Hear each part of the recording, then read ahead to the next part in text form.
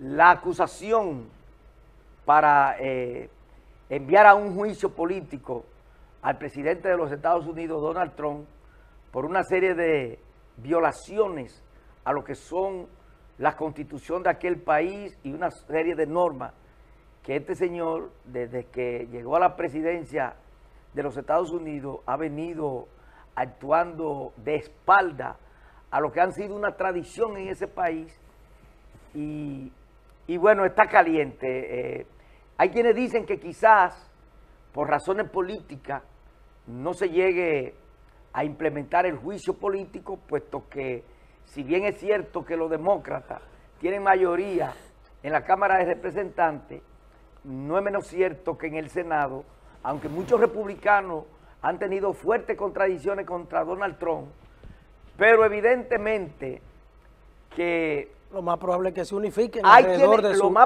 partido, Oye, ¿por qué sí? Dependientemente de las diferencias. Porque, según la Constitución de Estados Unidos, ante la ausencia del presidente y vicepresidente de ese país, a quien le corresponde el, tercero en orden en la sucesión eh, presidencial, es el presidente o la presidenta de la Cámara de Representantes. Entonces hay quienes dicen que los republicanos no se van a clavar el cuchillo poniendo de presidenta a Nancy Pelosi. Que es demócrata. Que es demócrata. Porque entonces ya con unas elecciones que están a doblar claro, Claro, eh, eh, entonces, pero de que hay méritos en las acusaciones, la hay. Para el impeachment, sí. Solamente para el impeachment. Solamente intereses políticos lo pueden impedir. Lo pueden impedir. Sí, que sería, es la lógica desde el punto de vista eh, de la pragmático de la política, ¿no? Porque los demócratas, eh, como tú señalas, serían entonces los que gobernarían a partir de este momento, recordando, en caso de que ocurriese, con unas elecciones tan cerca, recordando que en Estados Unidos cuando un presidente es sometido a un juicio, pues inmediatamente debe dejar su cargo para la investigación y todo el proceso que se lleve a cabo. Eh, de manera que al parecer, independientemente de los méritos que tiene eh, los elementos que han sido presentados con todo, todo lo que ha hecho Donald Trump, pues parece que pudiera no terminar con llevándose a cabo el juicio debido a ese componente político que es importante, por lo tanto hay que tomar en cuenta a la hora de analizar este momento que vive Estados Unidos respecto a su presidente? Mira, existo, aquí en el patio, o sea, en el país, la situación está bastante candente. Porque el lunes pasado, en Colombia, atraparon al supernarcotraficante, el narcos de narcos, César Emilio Peralta, alias César el Abusador, que ha puesto al desnudo la ridiculez, la ridiculez, la complicidad y la incapacidad de las autoridades dominicanas, puesto que ellos habían dicho que César andaba de que por Jarabacoa hicieron un operativo y que, que se... Oye, pero dijeron muchísimo bulto. Muchísimo bulto y muchísima mentira y muchísima incongruencia. Dijeron que se había ido el, viernes pasado a Colombia y desde allá dijo que no. Que Hacía tres meses. tres meses. O sea que si César el abusador se queda en la República Dominicana, no estuviera capturado. No estuviera capturado. Prácticamente. Ah, eh, Colombo dijo si, que, si dependiera de la voluntad de las autoridades. Oye, Colombo dijo, Ramón Colombo, que fue una estupidez de César coger para allá.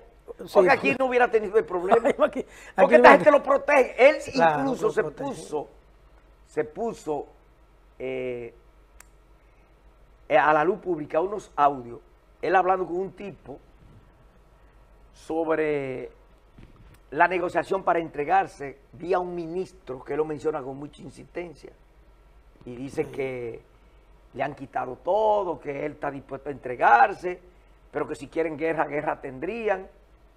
Ahí en ese audio sale también uno de las esposas, e-, ella pidiéndole que se entregue porque no tiene la niña que déjame decirte, es un drama para reflexionar, puesto que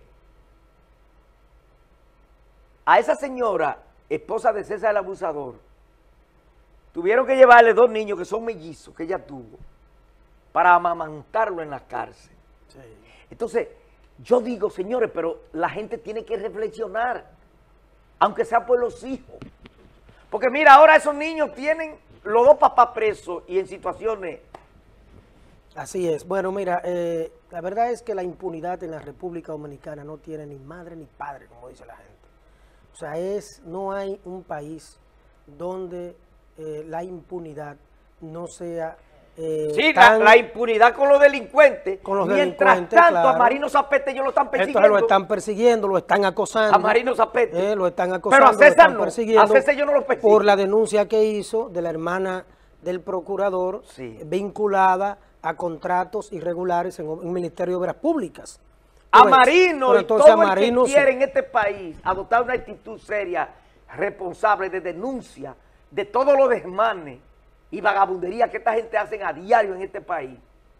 Si hay que lo denuncia, corre riesgo lo, lo- lo que le están haciendo a Marino Zapete, pero hasta Cristian Jiménez, que es una especie de, de bocina y siempre estuvo en los alrededores del gobierno, Sí. lo sacaron de un programa eh, Lo porque lo, lo ahogaron económicamente No, y él escribió la- un artículo. La intolerancia de Danilo Medina y de su grupo con tal de mantenerse en el poder y del PLD, pues realmente eh, no tiene límites. Una intolerancia que han cancelado funcionarios que se han ido con la facción de Leonel Fernández, que han cancelado cualquier funcionario que haya, cualquier funcionario que haya cometido una, que haya hecho un comentario desafecto, que persiguen en este país eso de que ellos se continúen presentando, sigan presentándose como que son demócratas, eso se acabó. No, tú estás O sea, ya eso, ya eso, ya ese cuento no lo pueden seguir haciendo, porque reprimen, porque reprimen, están reprimiendo toda manifestación cuando algún sector social eh, se, eh, protesta. Y, ahí tenemos los casos de los campesinos del Ceibo, cómo fueron eh, vilmente reprimidos por el gobierno.